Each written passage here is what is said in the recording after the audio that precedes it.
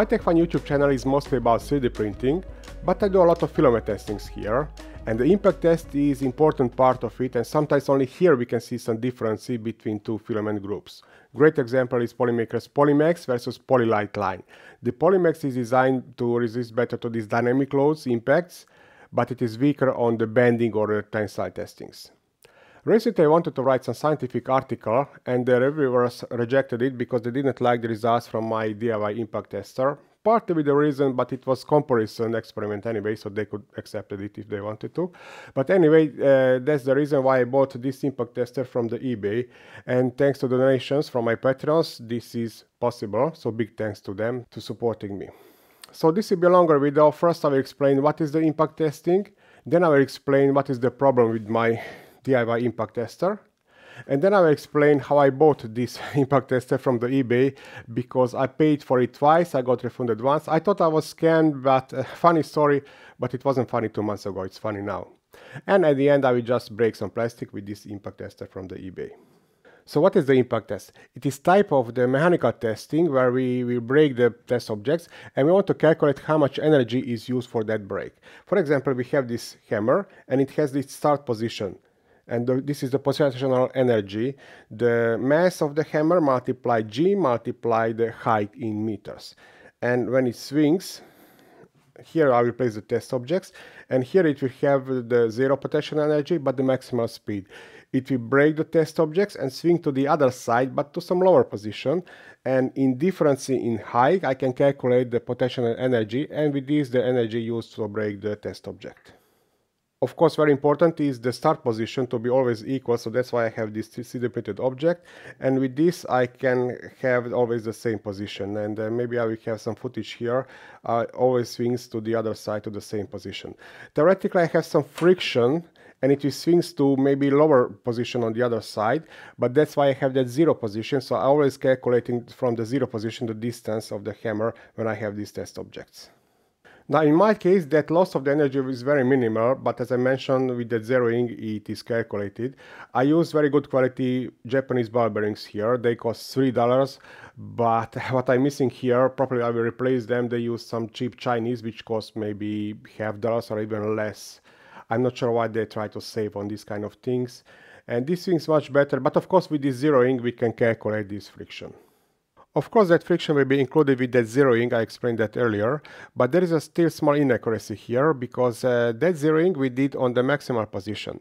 But if after the break it swings only here, in that case uh, this part of the friction is included too, but it shouldn't be compensated. So that's why less friction is better, especially with those digital ones. Here that small inaccuracy doesn't matter. Many times I got the comments, why don't measure the angle with this unit because everybody is measuring the angle. Yes, uh, 20 years ago in university I also learned to measure the angle and then calculate the difference in height. But with this I have that middleman, so I'm able with the high-speed camera to measure directly the height because this is what I need in the calculation, so I'm skipping the middleman and I'm placing here approximately one and a half meters. I zoom in and the distance between the hammer and the scale is uh, less than 5 millimeters, so that parallax error is extremely minimal. So now I want to explain what is the problem with the DIY impact tester and already explained that it is not the scale and the measuring method but the geometry of this hammer because originally I tried with the different hammers this is the second one and uh, the first one has a very similar structure but it was sharp on the lower side and when I play, printed a distancer for this hammer to plate its uh, correct position, it was 22 millimeters, but uh, this hammer is chamfered, so actually the impact point is a little bit higher. With brittle filaments, uh, this contact point is not only higher because of the chamfer, but also because of that flat surface. And if uh, the contact point is, is, somewhere on the top, in that case it will break with a much bigger breaking energy because the brittle filament will break immediately without any bending. The tough filaments on the other side will bend like, like this one, and it will result a lot of friction as you can see because of the chamfer and that's why again it will measure much higher breaking energies. Another thing that I negliged the mass of this wooden part. If I take it in account the mass would be slightly bigger and this white spot would be approximately here. But even then the difference would be very minimal, but of course as I mentioned this is good for the comparison video where I'm using always the same equipment. So my DIY impact tester is good for the comparisons, but it is not good to use these numbers and to compare them to with the data sheets from the companies. But don't forget again that this is based on some kind of ISO impact test, and additionally the companies are using usually the Charpy, and there we have the support from two sides, and the breaking energies are even higher. And now I'll explain how I bought this machine from the eBay. First of all, I collected many offers and from European companies, the price for this impact tester was between 30 and 40,000 euros. No exceptions here. From Chinese companies, this price was between 800 and $3,000. So huge difference we have here. And I thought this is so simple thing that even if there is some problem with it, I can fix it myself. So I decided to go, to go with the Chinese. On the eBay, I look around, so uh, we can see from many sellers exactly this machine, and the price is between 800 and 900 dollars. But additionally, in most cases, we have the shipping price, which was additionally uh, 400 or 500 dollars only from one company, the Inspection Pro, they offer this uh, shipping much cheaper, maybe $10 or something like that. And this was suspicious, of course, but I contacted them and asked about this price difference.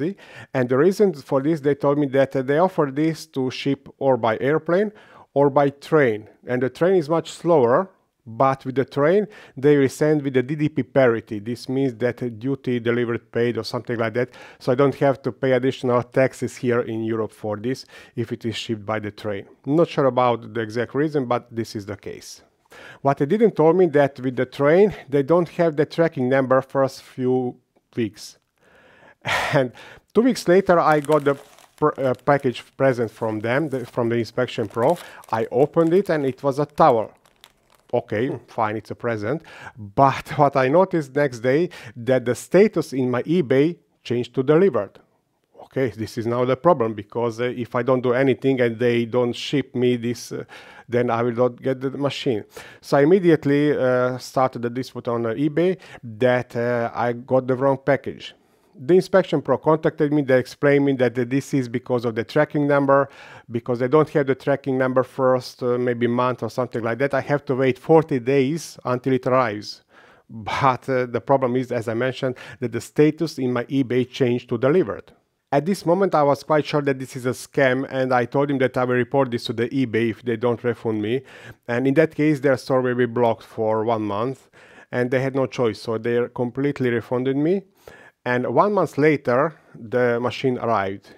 And uh, they're lucky because I am correct person, so I paid for it again. But if I don't want to pay for it, I will get this machine for free. So this is big risk from their side, uh, not from ours, because we have that eBay protection. Now let's talk a little bit more about this machine. It is like Ender 3 in 3D printing world, so it may be accurate, but it needs some tinkering. It arrived with two set of devices and even we can combine them. These are for the 11 joules maximal breaking energy and which are installed 5.5 joules and we can actually combine them because we can install these into this hose. But for this 3D printed plastic 5.5 joules are far enough. The user manual is completely in Chinese, which includes these tables. I asked them and I got the English version, but uh, these tables are not included there, but these are just numbers. Everything is adjustable on this machine, but uh, it is not set in the factory, so we have to do that adjustment ourselves. That's why I mentioned that it needs uh, tinkering. For example, this screw here, the position of the holder, and similar. I think this is already set correctly. This is 22 millimeters and the hammer is sharp. So the impact position and geometry of this hammer is correct. But currently my biggest problem with this machine are these holders. Theoretically they should be for the ISO 180. The thickness of this test object is 4 mm, but here we have the gap of 6.5 and 3 mm. I'm not sure is it visible on the camera, but I'm quite sure that this surface should align completely on this holder.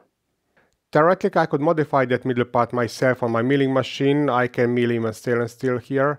But uh, I'm curious how will they handle this problem because I contacted them one week ago and they told me that they will contact their technicians and uh, since that no reply from them. But it's holiday summertime uh, when, they, when there will be some progress and I will change the description because I cannot change the content of the video.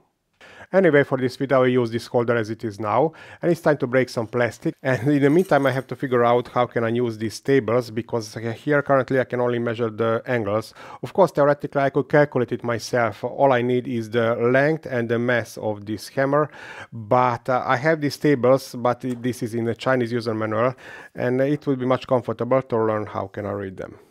Just for comparison, I break three test objects on my DIY impact tester. Second, third, zero position. The break is extremely similar in all three cases. I'm spending a few minutes to calibrate and everything should be parallel or perpendicular. The height is also correct. First I want to record the values for the zero position. The angle I can read here is 154 degrees. There is no test object here.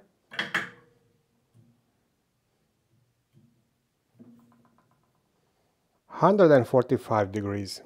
Just one more time, quickly I will leave the camera here because I want to see if it will be the same position.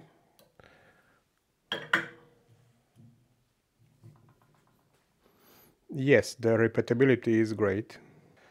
And now let's break some test object 139 in all three cases.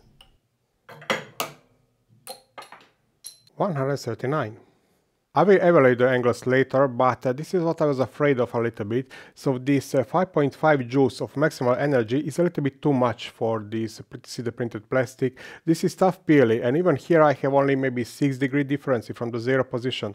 With some brittle PLA I will have only 1 or 2 degrees, so this is not enough for good accuracy. I will see if I can get some lighter weights here, but I'm not sure if with that the center of the mass is moved to, or maybe they just negligate the mass of this arm.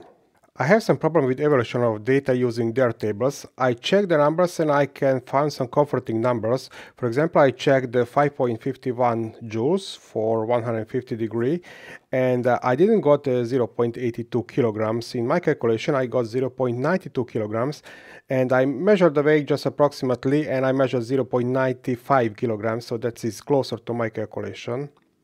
And having the same length or distance for every weight means they also negligate the weight of the arm. It looks like this is that price difference we have to pay between cheap Chinese and expensive European machines.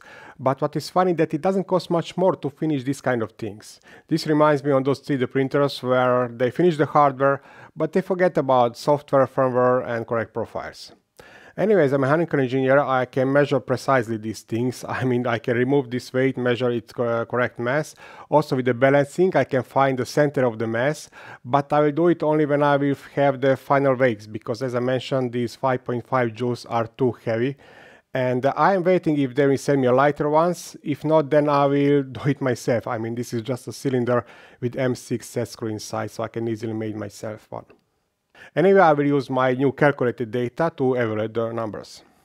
With my DIY impact tester, I measure 0.22 joules breaking energy.